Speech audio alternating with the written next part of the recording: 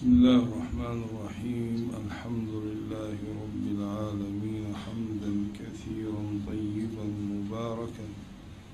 لا بلوغ لمنتهاه ونبرأ من كل حول وقوة إلى حوله سبحانه وتعالى وقوته. فلا حول ولا قوة إلا بك يا علي يا عظيم.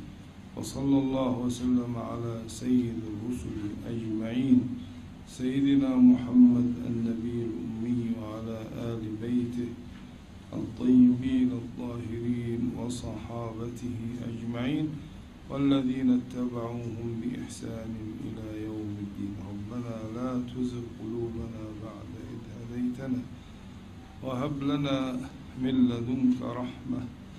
إنك أنت الوهاب. ربنا إنك جامع الناس ليوم لا ريب فيه. إن الله لا يخلف الميعاد وبعد وقد وصلنا في دروس المنطق وشرح السلم المنورق لشيخ الإسلام برهان الدين حسن القويسني شيخ الأزهر الشريف. انتهينا من الأشكال الأربعة وقلنا معرفة هذه الأشكال تكون بالنظر إلى الحد الأوسط. فإن كان محمولا في الصغرى وموضوعا في الكبرى فهذا هو الشكل الأول. وإن كان محمولا فيهما فهذا هو الشكل الثاني. وإن كان موضوعا فيهما فهذا هو الشكل الثالث. وإن كان موضوعا في الصورة محمولا في الكبرى عكس الأول فهذا هو الشكل الرابع. ثم تكلمنا عن شروط إنتاج الشكل الأول. وشرط إنتاجه إيجاب الصورة. وكلية الكبرى فشرطه الإيجاب في صوراه وأن ترى كلية كبراه. والشرط بالنسبة للشكل الثاني اختلاف الكيف مع كلية الكبرى.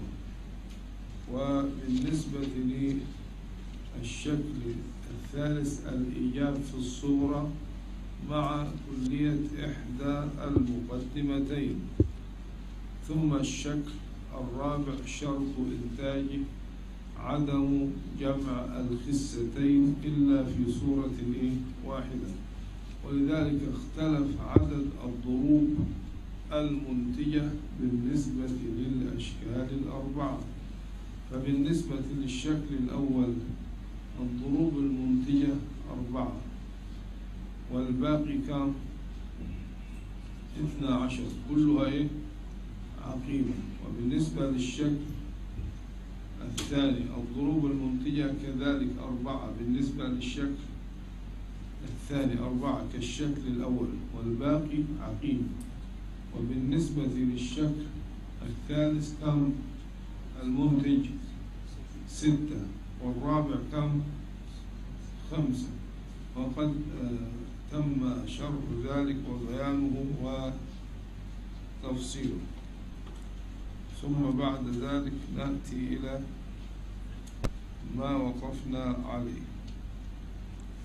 ولهذا قال فمنتج لأول أربعة يعني بالنسبة للشكل الأول كالثاني يعني الثاني أربعة أيضا ثم ثالث فستة ورابع بخمسة قد أنتجا وغير ما ذكرته لن ينتجا يعني غير ما ذكره من الضروب كل شكل فيه كم ضرب؟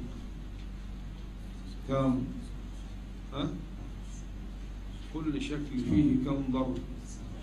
ستة عشر. والأشكال أربعة. فنضرب ستة عشر في أربعة فتكون النتيجة كم؟ أربعة وستين ضربا منها كم ضرب منتج عندنا أربعة وأربعة أربعة بالنسبة للشكل الأول وأربعة بالنسبة للشكل الثاني وستة للثالث هذه كم؟ أربعة وأربعة وستة كم؟ ستاشر مش كده؟ أربعة وأربعة ثمانية وستة كم؟ أربعة عشر ثم بالنسبة للشكل ال- الرابع كم؟ خمسة أربعة عشر وخمسة كم؟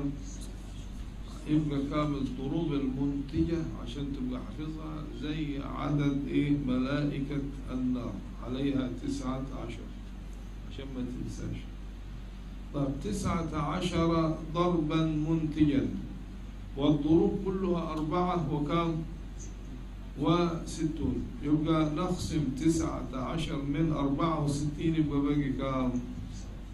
خمسة وأربعين ضرب غير منتج. واضح كده؟ يبقى إذا المنتج منها تسعة عشر من الأشكال كلها. وغير المنتج كم خمسة وأربعون ضربا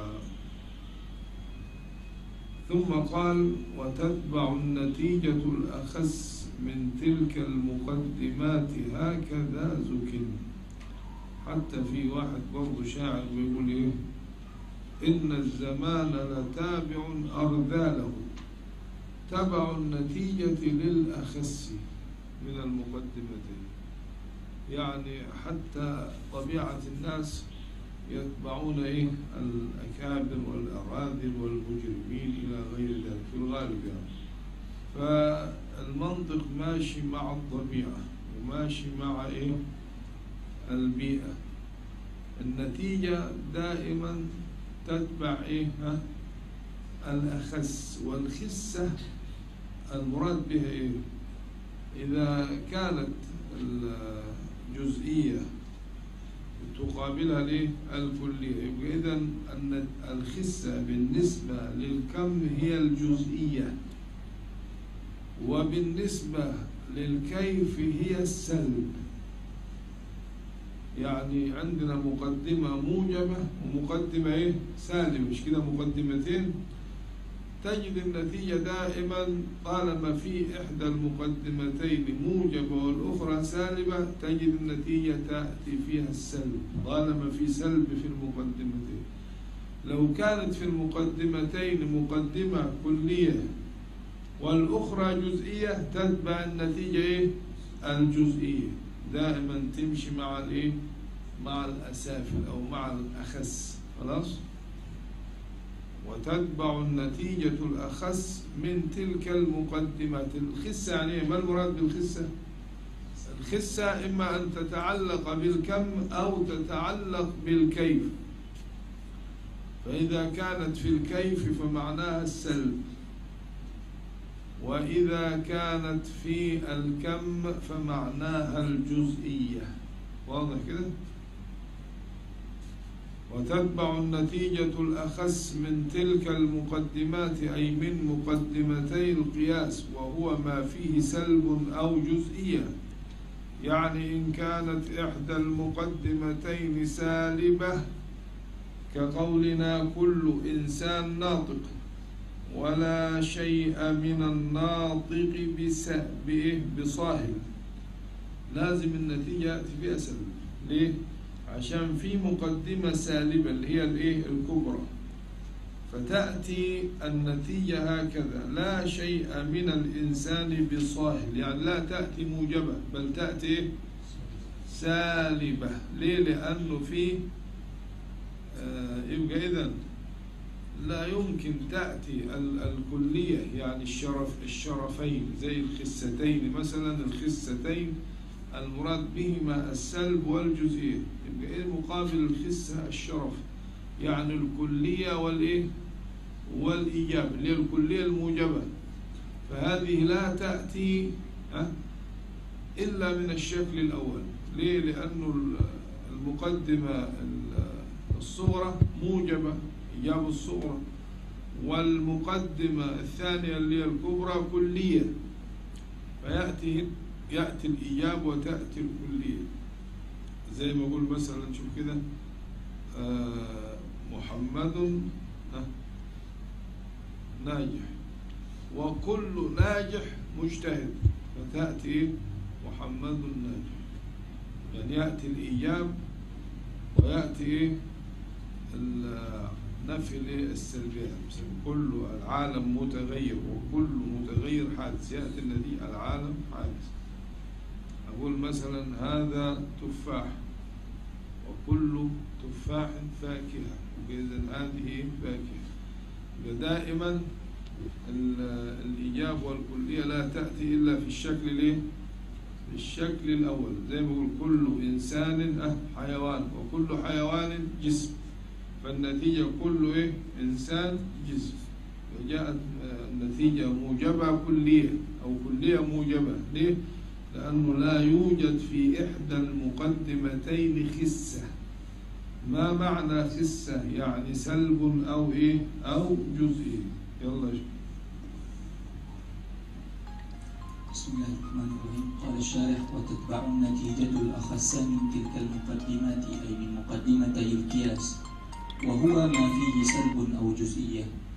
فإذا كانت إحدى المقدمتين سالبة كقولنا كل إنسان ناطق ولا شيء من الناطق بصاهر كانت النتيجة سالبة وهي لا شيء من الإنسان بصاهر.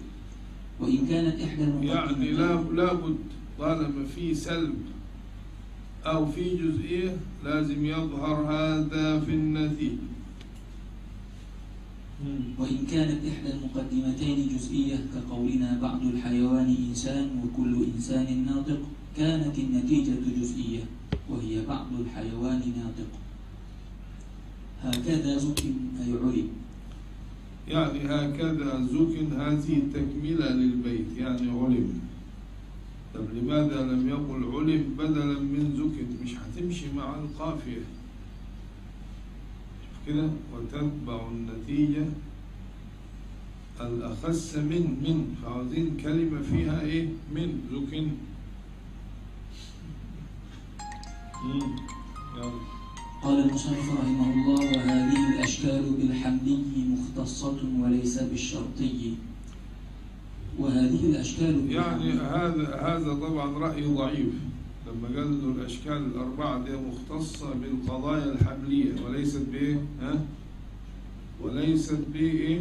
بالشرطيه هذا رأي ضعيف إنما ال- الصحيح جريان الأشكال الأربعة في الحمليات والشرطيات على حد سواء يعني ليست مختصة بإيه؟ ها؟ بالحمل بل تأتي أيضا في القضايا الشرطية ونفس الكلام إيجاب الصغرى وكلية الكبرى. بس بدل ما نقول آه يعني مثلا شروط الإنتاج هنقول إيه؟ الإيجاب في إيه؟ في الصغرى وكلية الكبرى بالنسبة لإيه؟ للشكل الأول. أو هنقول الشكل الأول هيكون الحد الوسط أه هنقول إيه؟ هنقول تالي مش هنقول إيه هنقول الحد الوسط هيبقى إيه؟ محمول في الصغرى مش كده؟ هنقول تالي مش محمول وهنقول مقدم فين؟ في الكبرى. يعني بدل ما محمول وموضوع هنقول مقدم وإيه؟ وكل ما في الأمر هتزيد أداة الشرط. خلاص هتزيد إيه؟ يعني مثلا شو هنقول كده؟ إذا كان النهار آه، هنقول كده إذا كان النهار طالعا أو إذا كانت الشمس طالعة فالنهار موجود. نقول كده وكلما وكلما كان النهار طالعا كانت الشمس إيه؟ موجودة. أو كلما كانت الشمس موجودة كان النهار موجودا وهكذا. فزي ما تجري في الحمليات تجري في الشرطيات. نعم. وهذه الأشكال بالحملي أي وهذه الأشكال الأربعة مختصة بالحملي من القضايا وليس ما وليس ما ذكر من الأشكال الأربعة بالشرطي وهذا رأي ضعيف والصحيح جريان الأشكال الأربعة في الحمليات والشرطيات كما تقدم التنبيه عليه والتمثيل له. والحذف في بعض المقدمات أو النتيجة لعلم آتي. يعني يعني في حاجة إحنا بنسمعها دائما يقولوا إيه؟ وحذف ما يعلم جائز. يعني طالما الأمر معلوم للسامع يبقى فلا داعي لذكره يعني والحذف في بعض المقدمات يعني يعني يحذف واحدة من المقدمتين. لماذا؟ للعلم بها. أو يحذف النتيجة. يعني مثلا أقول لك إيه؟ هذا زاني. وراح أقول لك إيه؟ آه فإنه يحد ده أنت جبت مقدمة صغرى.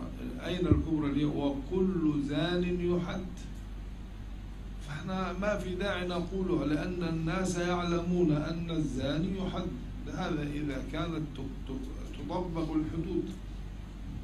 يعني ممكن نقول كده بالنسبة لعصرنا. هذا زاني وكل زاني لا يحد. هو الواقع كده. خلاص؟ يبقى الحذف في إيه؟ ها؟ في إحدى المقدمات. خلاص؟ أو النتيجة. يعني مثلا يقول لك هذا زاني وكل زان يحد. طب إيه النتيجة. ها؟ هذا يحد فحذفناها لأنه معلوم. أقول لك هذا سارق. وكل سارق تقطع يده. واسكت. يبقى معناها هذا تقطع يده. فلماذا حذفت للعلم بها؟ كقولنا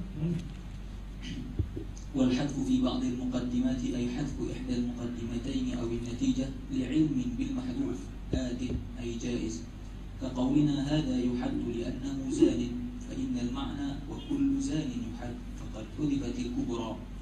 وكقولنا هذا زان وكل زان يحد فقد حذفت النتيجة لأن المعنى هذا يحد فحذفت للعلم بها من القياس.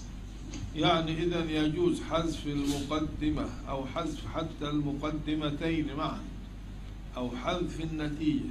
للعلم إيه؟ للعلم بها. وحذف ما يعلم جائز. وتنتهي إلى ضرورة لما من دور أو تسلسل قد لزم وتنتهي أي المقدمات إلى ذي ضرورة إن لم تكن ضرورية. لما يلزم على تقدير عدم انتهائها إلى ضرورة من دور وهو توقف الآخر على ما يتوقف عليه. أو تسلسل وهو ترتب أمر على أمر إلى ما لا نهاية له. يعني معنى كده المقدمات إذا لم تكن ضرورية. يعني في مقدمات ضرورية وبناء على ذلك تكون النتيجة ضرورية. وفي مقدمات نظرية أو بعضها ضروري وبعضها إيه؟ نظري. وبناء على ذلك تكون النتيجة إيه؟ نظرية لكن حتى تقع الثقة ويكون اليقين بها لا بد من انتهائها إذا لم تكن ضرورية إلى الضرورة. يعني مثلا بص كده انظر من هنا أقول لك اقفز هنا من من السطح إلى الأرض هنا. فأنت تنظر فهي مسألة قياسية نظرية. لا تستطيع لي القفز أو ربما تصاب. فنأتي به بسلم. السلم عبارة عن درجات. درجة درجة حتى ينتهي بك إلى؟ إلى الأرض. فنجي في آخر درجة. تصبح ضرورية تنزل كده عادي بدون إيه؟ بدون تقدير وبدون حساب. الأول كنت تحسب. إنما لما بقي درجة واحدة أصبحت إيه؟ ضرورية. فلازم تنتهي بك المقدمات النظرية إلى ضرورة حتى يحصل إيه؟ اليقين. يعني رد النظر إلى إيه؟ إلى ليه؟ لأنه لو لم ينتهي إلى ضرورة حيلزم إيه الدور أو حيلزم إيه التسلسل وهو توقف الآخر على ما يتوقف عليه يعني توقف الشيء على شيء والشيء يتوقف عليه كتوقف زيد على عمرو وعمرو على زيد. فإن رجع توقف أحد الشيئين على الآخر سواء مباشرة أو بواسطة سمي الدور. أما إذا استمر الأمر دون أن يدور على الأول فهذا هو إيه؟ التسلسل. ولذلك كل دور يعتبر إيه؟ تسلسل في المعنى. هذا متوقف على هذا وهذا متوقف على هذا. لكن كل ما في الأمر إذا استمر الأمر يبقى تسلسل. فإن دار يبقى إيه؟ دور. واضح كده؟ يعني مثلا لو قلنا ألف متوقفة لا توجد ألف إلا بواسطة الباء. يعني ألف متوقفة على إيه؟ على الباء. طب والباء؟ على ألف. يبقى ده إيه ده؟ دور لأنه ألف متوقفة على الباء والباء متوقفة على ألف. أما إذا قلنا ألف متوقفة على باء وباء على تاء وتاء على ثاء وثاء على آه، جيم وجيم على حاء وحاء على خاء وخاء على دال ودال على ذال. واستمر الأمر هكذا دون توقف هذا اسمه إيه؟ التسلسل. افرض وصلنا إلى الياء. بعد الياء ما فيش حروف. فنقول ياء متوقفة على ألف. يبقى كده إيه اسمه إيه؟ دور. ولو كان حتى في وسائط كثيرة جدا. المهم لا يرجع إلى الأول. فإن رجع إلى الأول يسمى إيه؟ دور. في بعض الناس تفهم إنه الدور يعني ألف على باء وباء على ألف وجيم على دال بسرعة لا طالما رجعنا إلى الأول يسمى دور. ولو حتى ذكرت مليون المهم لا ترجع إلى إيه؟ إلى الأول. فإن استمر الأمر كده متسلسلا يسمى إيه؟ التسلسل. وكلاهما إيه؟ باطل فإذا لم تنتهي المقدمات إلى أمر ضروري يلزم إيه؟ يلزم الدور أو يلزم الإيه التسلسل. ما الذي يقطع الدور والتسلسل هو إيه؟ الضرورة. فلا بد من انتهائها إلى أمر إيه؟ ضروري. حتى لا يلزم الدور والتسلسل. ولهذا بيقول التسلسل ترتب أمر على أمر إلى ما لا نهاية. إلى ما لا نهاية. هذا اسمه إيه؟ التسلسل. إلى ما لا نهاية. قد لزم فلزم الدور فيما إذا استدل على المتأخر بما يتوقف عليه ذلك المتأخر الذي هو المتقدم أو على المتقدم بما يتوقف عليه ذلك المتقدم وهو المتأخر. ولزوم التسلسل فيما إذا توقف الأول على أدلة مترتبة لا غاية لها. يعني اللي هي إيه؟ لا نهاية. لا غاية يعني لا نهاية. فإن انتهى الأمر إلى دليل غير ضروري غير إلى دليل غير ضروري مقدماته ولا مسلمة لم يكفي. يعني لابد أن تنتهي إلى مسلمات. أو بدهيات أو أوليات. غير كده لا يكفي. مثال مثلا مثال شوف هجيب لك مثال. يقول لك إيه؟ اللي هو إيه؟ بيقول لك إنه المقدمات لازم تكون ضرورية ها؟ أو نظرية وتنتهي إلى إيه؟ إلى ضرورة. مثال إيه؟ المقدمات كلها ضرورية. تقول هذا العدد ينقسم إلى متساويين. مش كده؟ وكل منقسم إلى متساويين. خلاص كده؟ وكل منقسم كذلك يعني إلى متساويين زوج. فهذا العدد زوج. فنقول مثلا الثمانية ها؟ زوج. ليه؟ لأنها تنقسم إلى إيه؟ إلى متساويين يعني أربعة وأربعة. أما السبعة ليست زوجا لأنها لا تنقسم إلى متساويين. السبعة تنقسم إلى أربعة وإيه؟ وثلاثة. فإذا لم ينقسم العدد إلى متساويين لم يكن زوجا. ولذلك بيقولوا على ال- القضايا دي بيسموها زي الأوليات واللي بيسموها قضايا قياساتها معها.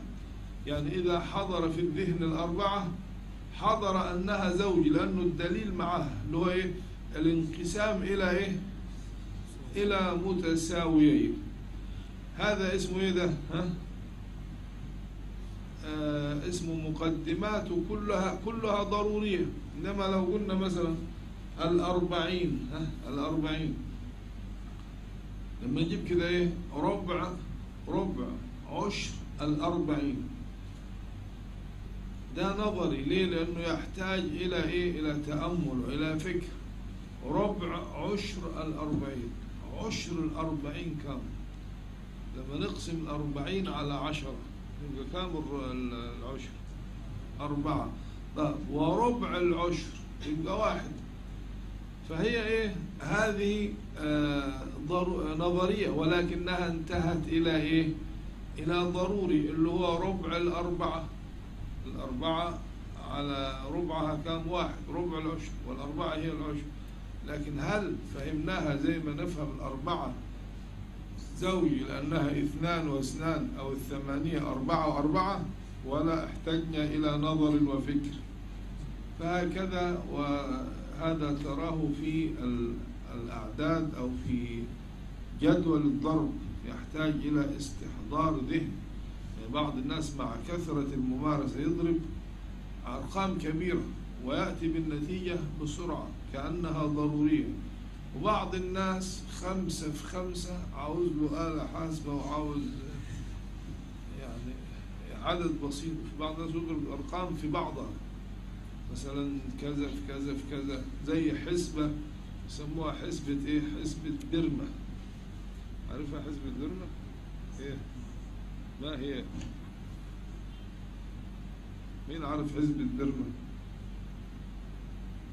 اللي هي المرأة كانت معاها يعني مشنة فيها إيه أو فيها بيض فدفعها أحد الناس فسقط على الأرض فكسر البيض أخذت تصرخ وكذا وبعدين جاء أهل الإحسان وأهل التطوع يريدون تعويضها يعني عاوزين يدفعوا لها ثمن الايه؟ البيض الذي كسر فسألوها كم بيضة معك؟ قالت لا أعرف. أمال كيف؟ قالت أنا آتي بالبيض. فترصه اثنين اثنين تيجي. أو أربعة أربعة أو خمسة خمسة. لكن إذا رصته مثلا عدد معين تبقى واحدة. يعني تبقى واحدة ملهاش مكان. لكن إذا رصت مثلا أر- خمسة وخمسة أو سبعة وسبعة لا يبقى شيء. لكن إذا يعني يا إما ترص زوجي يا إما إيه؟ فردي. لها نظام في الإيه؟ في في, الرص.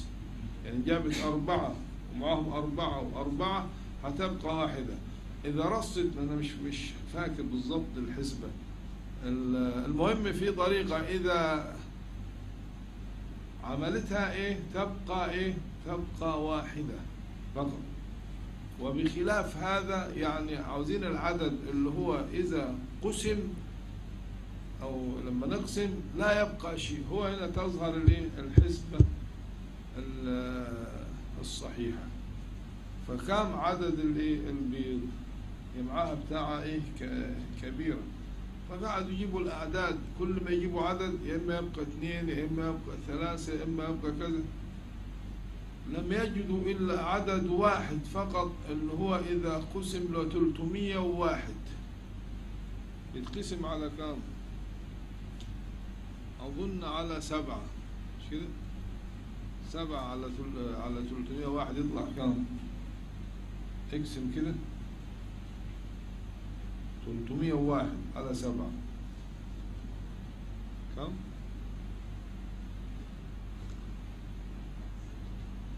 ها؟ 43 في سبعة يبقى بكام؟ ها؟ ها؟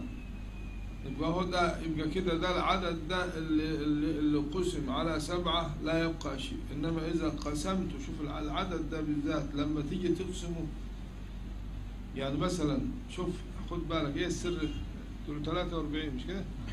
إيه السر في العدد ده اللي هو 301 لأنه لو قسمت شوف خد بالك لو قسمت على اثنين لا يبقى شيء اثنين على 300 جاي 300 لو لو قسمت ال 300 على 2 إيه؟ 150 و150 انما 301 لو قسمتها على 2 هيبقى في واحد باقي طب ولو قسمتها على 3 برضه هيبقى في واحد.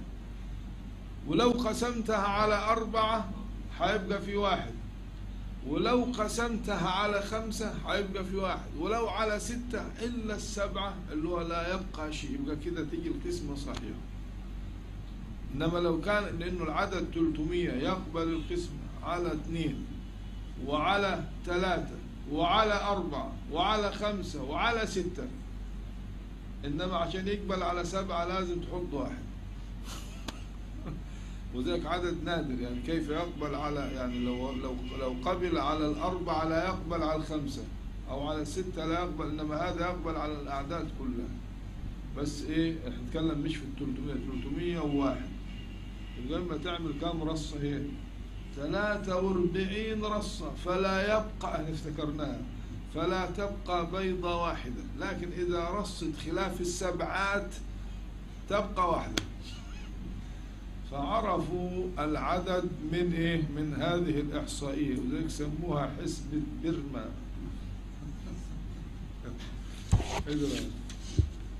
مثال ما مقدماته ضرورية هذا العدد ينقسم إلى متساويين وكل منقسم كذلك زوج. آه يبقى أي عدد ينقسم إلى عددين متساويين زوج. أظن دي بديهية ضرورية هي عاوزة تفكير؟ طالما طلعوا العددين زي بعض يبقى إيه؟ زوج. يلا.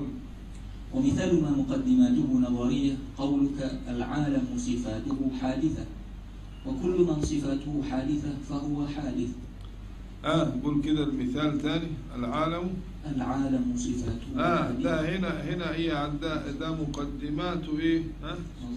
نظرية. العالم هل هل هل المثال ده كالمثال الذي قبله العدد ينقسم إلى متساويين وإذا وكل من ينقسم إلى متساويين فهو زوج. هل هذا كما تقول العالم صفاته حادثة وكل من صفاته حادثة فهو إيه؟ حادث. هذا يحتاج إلى إيه؟ ها؟ إلى أن نرد نخلي المقدمتين اللي هي الصغرى والكبرى نخليها إيه ضرورية بدل أن تكون نظرية. كيف ذلك؟ يعني العالم صفاته حادثة هذه نظرية فنخليها ضرورية. فنستدل على الصغرى بقولنا صفاته متغيرة. طيب كيف كيف جعلناها ضرورية؟ لأن التغير مشاهد والمشاهدة أمر ضروري. يجي واحد يقول لي العالم صفاته حادثة يقول لي يا شيخ؟ أقول تعالى هل هي متغيرة أو لا؟ يعني متغيرة أن توجد بعد عدم يقول ما هو دليل تغير؟ أقول له المشاهدة يبقى أنا رجعت له إيه؟ الضر... النظرية إلى إيه؟ إلى ضرورية والثانية منهما بالتغير إن كان من عدم إلى وجود كان الوجود طارئا وإن كان من وجود إلى عدم كان الوجود جائزا والجائز لا يقع إلا حادثا ونستدل على الكبرى من القياس بقولنا كل من كانت صفاته حادثة لا يعرى عن الحوادث وكل من لا يعرى عن الحوادث لا يسبقها يعني يلازمها. وكل من لا يسبق الحوادث فهو حادث فقد انتهينا إلى الضرورة. ولا عبرة باعتراض بعض الفلاسفة على بعض تلك المقدمات فإن ذلك مكابرة. ممكن الخصم يعترض بس باسمه إيه؟ مكابرة. إن هذه راجع إلى المشاهدة. التغير راجع إلى المشاهدة. من وجود إلى عدم ومن عدم إلى وجود ومن يعني من من يستطيع أن ينكر التغير الآن الآن دلوقتي التغير نشاهده بأعيننا ونشعر به. الآن مساء. بعد قليل إيه؟ صباح. الآن ليل. بعد ساعات نهار. والعكس. كيف لا يكون التغير مشاهدا ومدركا وأمر ضروري؟ فلا بد من انتهاء المقدمات النظرية إلى إلى ضروري الله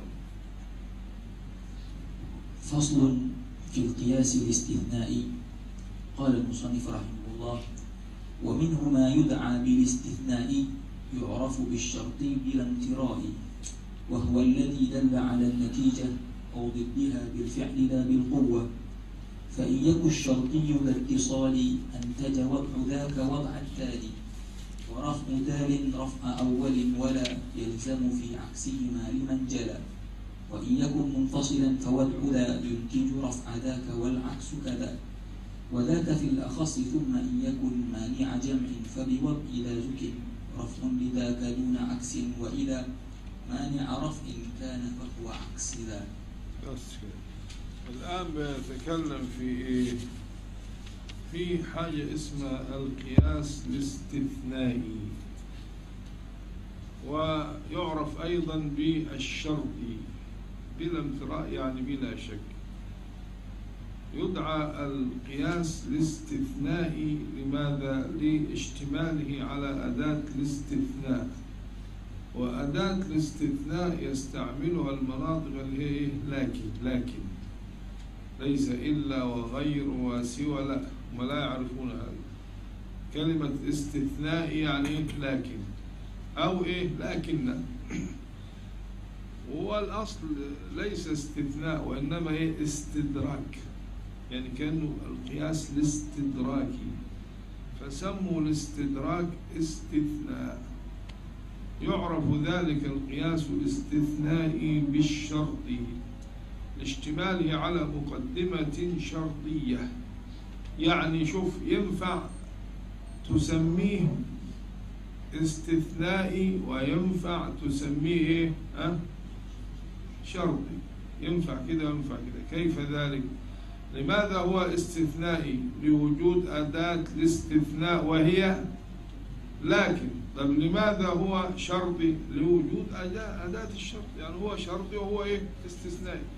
فنسميه بأحد الأمرين إما أن تسميه شرطيا وإما أن تسميه استثنائيا. هذا صحيح وهذا إيه؟ صحيح. يشتمل على مقدمة شرطية وتسمى الكبرى. يعني الشرطية هي الكبرى. والمشتملة على أداة الاستثناء هي الصغرى. بلا امتراء يعني بلا شك. هذا إكمال للبيت. وعرف القياس الاستثنائي بقوله. ما هو القياس الاستثنائي؟ قال لك شوف هو ما دل على النتيجة أو ضدها بالفعل لا بالقوة. يعني عاوز يقول لك هو يدل على النتيجة بصورتها لا بمادتها. يعني النتيجة موجودة بطريقة فعلية ليست بالقوة. يدل على النتيجة أو على ضدها. أي نقيضها يعني تكون النتيجة نفسها مذكورة فيه أو نقيض النتيجة مذكور فيه بالفعل. يعني إيه معنى؟ ما معنى بالفعل وما معنى بالقوة؟ عشان نفهم. معنى بالفعل يعني بالصورة. فالنتيجة لها صورة ولها مادة. الصورة يعني يعني الهيئة اللفظية. المادة يعني المعنى. فيا إما صورة النتيجة يعني لفظها موجود يا إما معناها واضح كده فإن كان اللفظ موجودا اللي هو الصورة يبقى في هذه الحالة اسمه إيه؟ أه؟ قياس استثنائي إذا لم تكن الصورة موجودة وإنما المادة يسمى إيه؟ قياس اقتراني طيب الاقتراني إحنا شرحناه لماذا سمي اقتراني؟ ها؟ لاقتران الحدود فيه. ما فيهوش أداة الايه الاستثناء واضح كده؟ طيب نيجي هنا نشوف.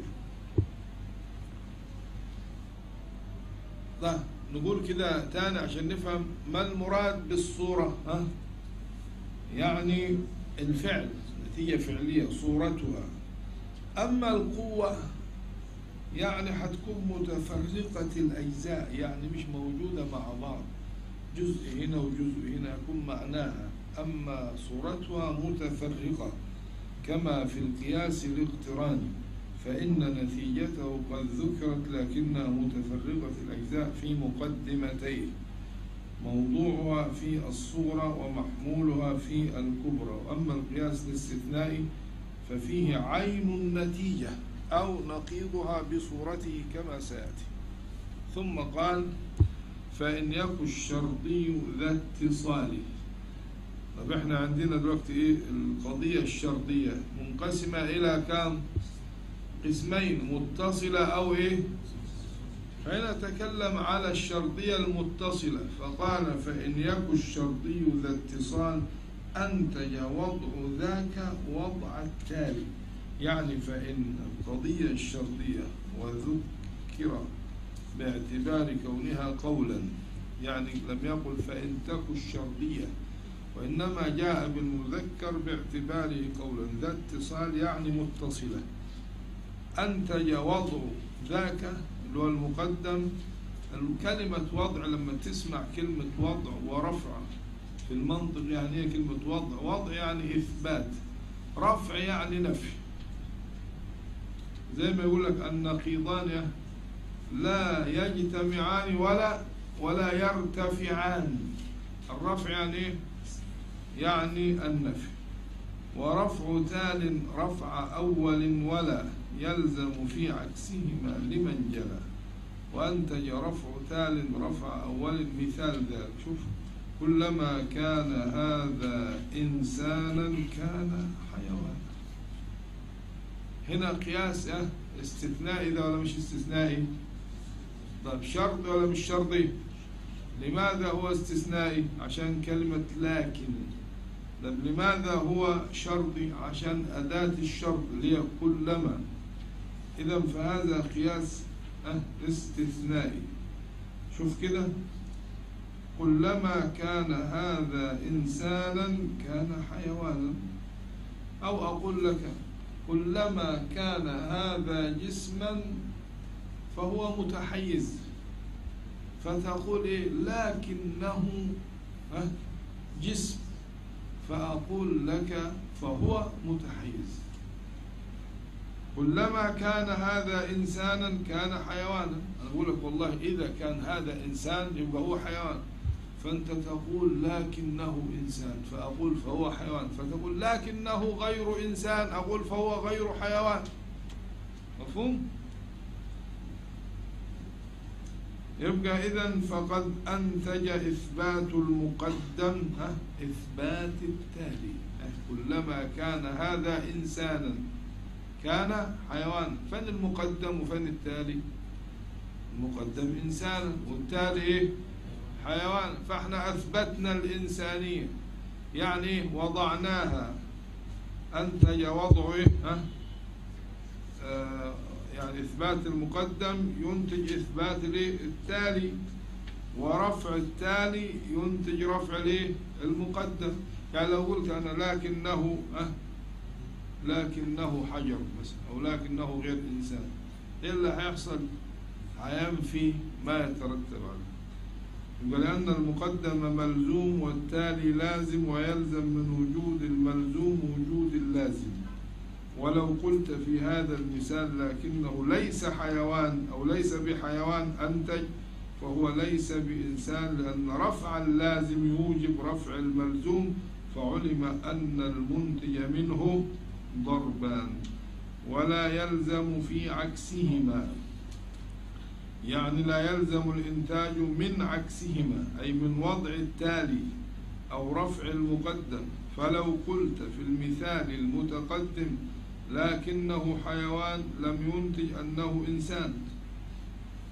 يعني أنت مثلا يقول كلما هذا كان هذا إنسانا قلت إيه؟ أه كلما كان هذا إنسانا كان حيوانا. فنقول لكنه إنسان. فأنا عملت إيه؟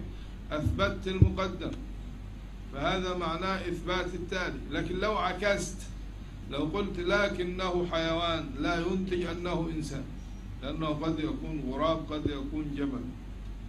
قال ولا يلزم في إيه؟ ها في عكسهما. أي من وضع التالي أو رفع المقدم فلو قلت لكنه حيوان لم ينتج أنه إنسان لأن اللازم قد يكون أعم من الملزوم لأنه كلمة حيوان دي أعم من إيه؟ من إنسان لأنه يدخل فيها الإنسان والجمل والفرس إلى. ولا يلزم من إثبات الأعم إثبات الأخص. هذه قاعدة حلوة جميلة. لا يلزم من إثبات الأعم إثبات ليه؟ الأخص. يعني مثلا لو أنا أثبتت نبوة إنسان فأيهما أعم؟ النبوة ولا الرسالة؟ النبوة أعم. مش كده؟ لأنه كل رسول نبي وليس العكس. فلو كان نبيا لما أنا أثبت هذا نبي لا يلزم إثبات الإيه الرسالة. يبقى لأن النبوة أعم فلا يلزم من إثبات له. الأعم إثبات الأخص. واضح كده؟ لكن العكس ها، يلزم ها، يلزم. لا يلزم من نفي. من نفي الأعم نفي الأخص. لكن شوف لا يلزم احفظها كده لا يلزم من إثبات الأعم إثبات الأخص. إنما عكسه صحيح. يلزم من نفي الأعم نفي الإيه؟ الأخص زي إيه؟ يعني أنا لو نفيت نبوة إنسان يبقى كده أنا بنفي رسالته. لأنه لا يمكن يكون ها؟ رسول إلا إذا كان نبيا. مش كده كل رسول نبي؟ فإذا أنا نفيت النبوة نفيت الرسالة لكن إذا نفيت الرسالة لا يلزم نفي النبوة. لأنه قد يكون نبي ليس رسول صح؟ إنما إذا نفينا النبوة هل في رسول مش نبي؟ لكن في نبي ليس رسول. فهمت ولا لسه؟ ولذلك شوف القرآن الكريم دقيق وكتاب معجز. حكمت آياته ما كان محمد أبا أحد من رجالكم ولكن وخاتم إيه؟ النبيين. عارف لو قال وخاتم المرسلين يجي واحد إيه؟ آه يزعم أنه إيه؟ أنه نبي. وإذا قلت له لو أن الله تعالى قال وخاتم المرسلين. وواحد ادعى إيه؟ النبوة. فتقول له قال الله تعالى وخاتم المرسلين يقول لك لا أنا أنا نبي فقط. إنما لو ادعى الرسالة وقال وقلت له وخاتم النبيين لا يستطيع ليه لأنه لا يمكن أن يكون رسولا إلا إذا كان نبيا. ولذلك النبوة أعم. فيلزم من نفي الأعم نفي الأخص. ولا يلزم من إثبات الأعم إثبات الإيه؟ الأخص. وضحت كده؟ ولذلك تجد في صحيح البخاري يخبر أنه وسلم يقول لا تقوم الساعة حتى يظهر ثلاثون يعني يكمل العدد ثلاثين. ثلاثون دجالون كلهم يزعم أنه رسول الله.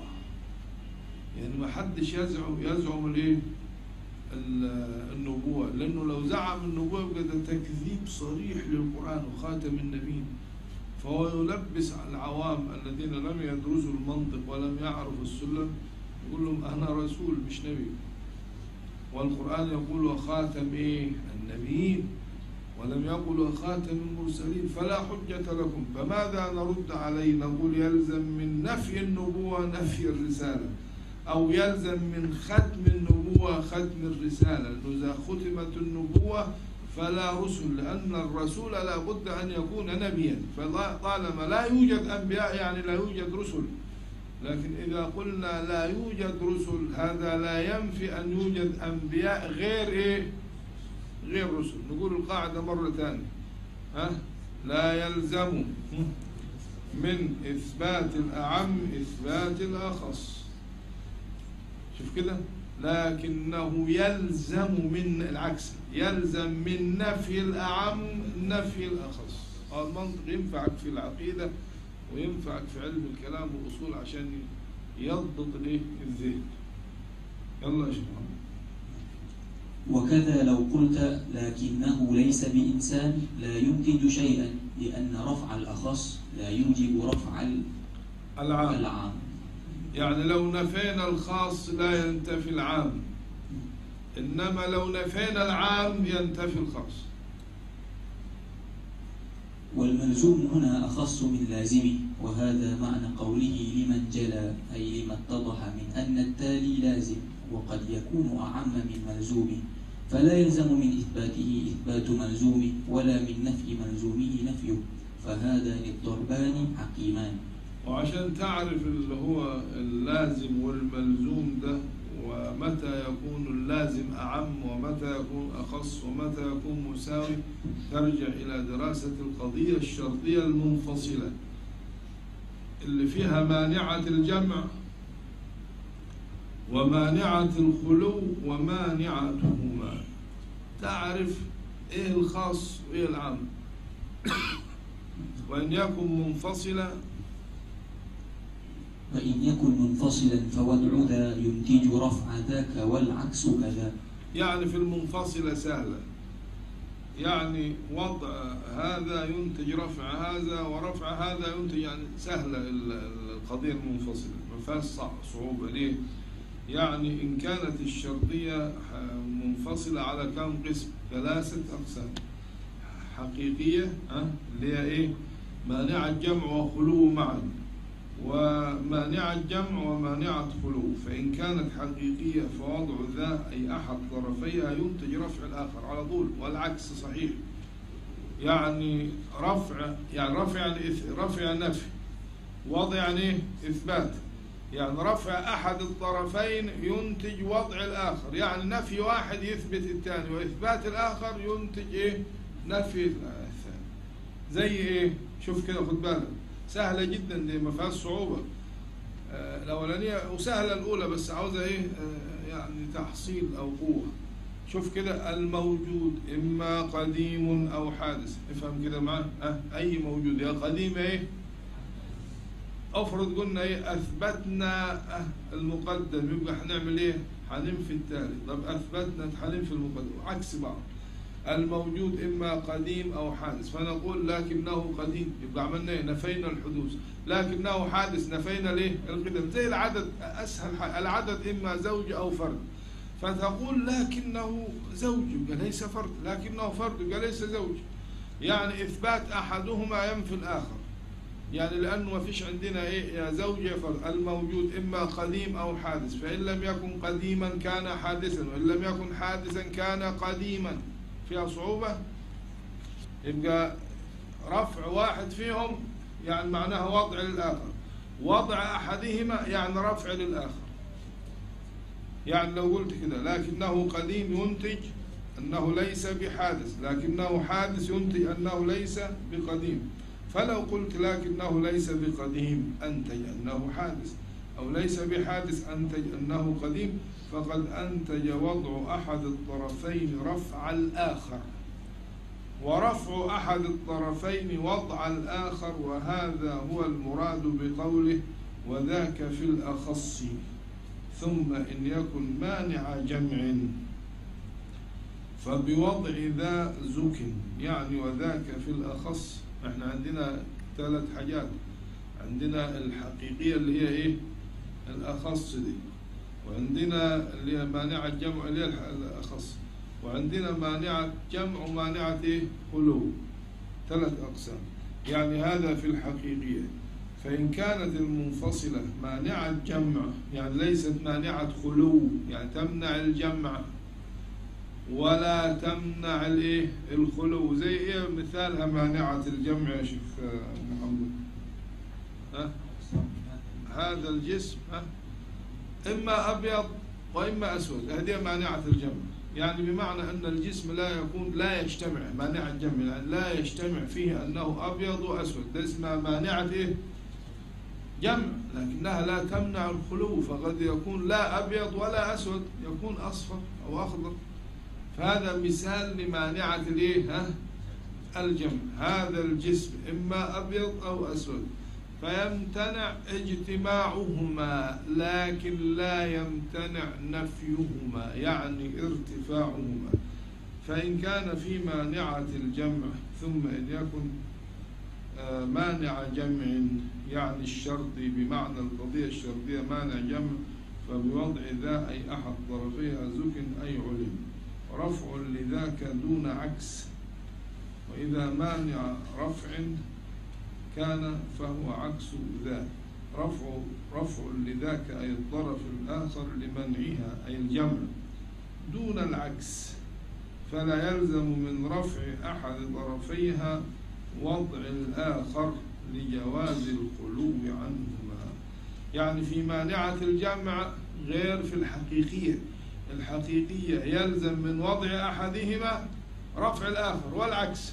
أما هنا لا يلزم العكس؟ لجواز الخلو عنهما معا. يعني لما أقول إيه لو قلت هذا الجسم إما أبيض أو أسود يعني أنا لما أنفي البياض مثلا. لا يلزم إثبات السواد أو السواد يلزم إثبات لأنه قد يكون الاثنان منفيين. يعني لا لا أبيض ولا أسود. فأقول لك هذا الجسم إما أبيض وإما أسود. تقول لي لكنه أسود. أقول لك فهو أبيض. ما يلزمش. طب لكنه أس... أبيض. فهو أسود لا يلزم. ليه؟ لأنه قد يكون لا أبيض ولا إيه؟ فهمت كده في مانعة الإيه؟ الجمع. ما ينفعش العكس. إنما في الحقيقية ينفع الإيه؟ العكس. آه مثال ذلك هذا هذا. إما أسود أو أبيض. فأنت قلت لكنه أسود ينتج. يعني ينتج إيه؟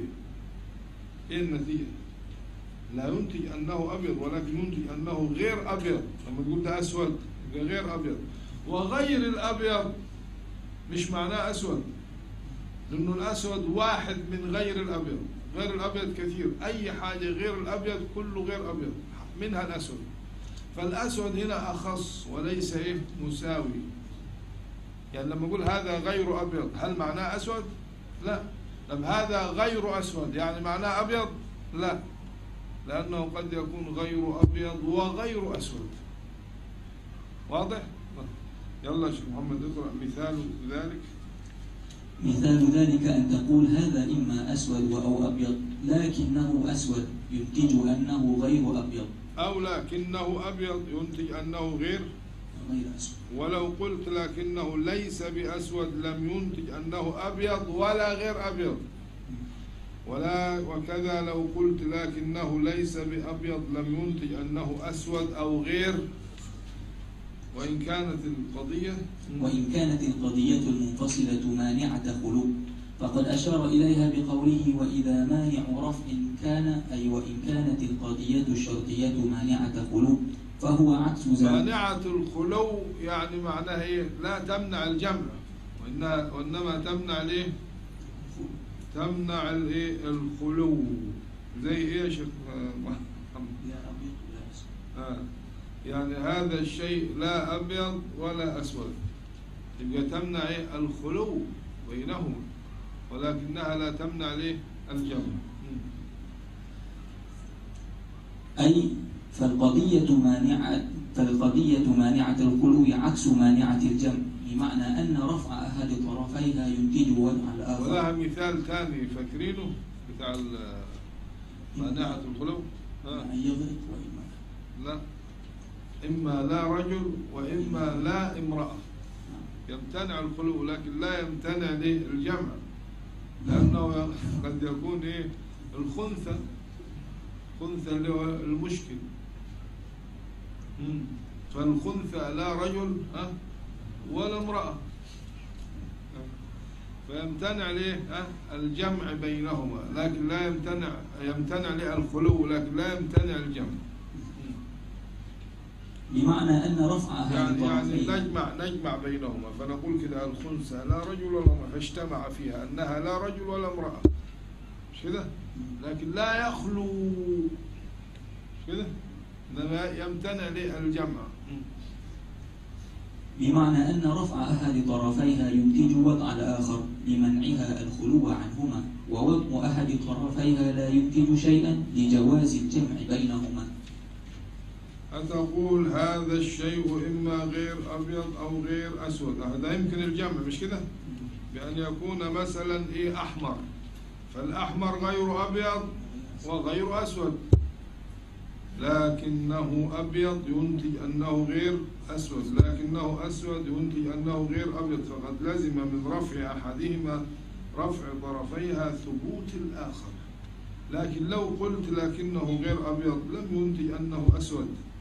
ولا غيره. أو قلت لكنه غير أسود لم ينتج أنه أبيض ولا غيره. فهمت؟ تمام كده؟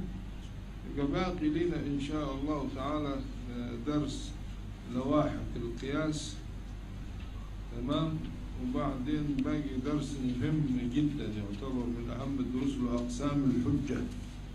ده مهم يعني قوي. وبعدين الخطأ. ده كمان مهم عشان نعرف الخطأ في الاستدلال. درس يعني يعتبر درسين أو ثلاثة. ونختم إن شاء الله هذا الإيه الكتاب. وبعدين يعني شوفوا لنا كتاب آخر. في كتب ما خدناش ما درسناش اللي هو الملوي. الملوي إحنا خدناه ما خدناش الملوي. شوفوا يعني كما تحبون. خلاص في حاجة خلينا نختم. نصلي ونتوكل اللهم صل أفضل صلاة على خلقك سيدنا محمد وعلى آله وصحبه وسلم عدد معلوماتك